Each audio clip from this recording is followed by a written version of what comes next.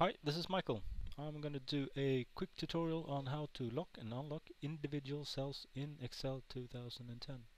What I've done here is a little spreadsheet. I got a couple of rows and a couple of columns and a couple of summarizes.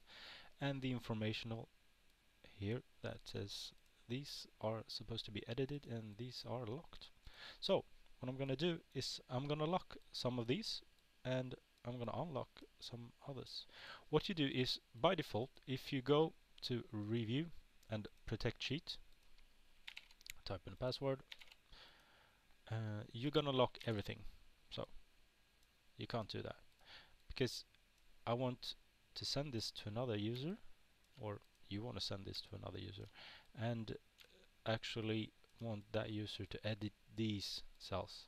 Not these ones or anything else for that matter but these. So what I need to do is I need to unlock them so I'm going to take this and I'm going to take these cells.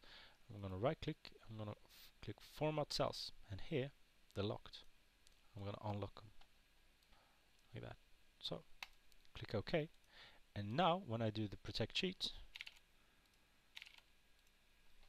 they're unlocked. Now I can change them. So but these ones they're still locked. So, and the forms are working just as same as usual. So, now I can actually send this to a colleague or a student or my mother to say, here, can you edit these please, put in the right numbers and uh, send it back to me.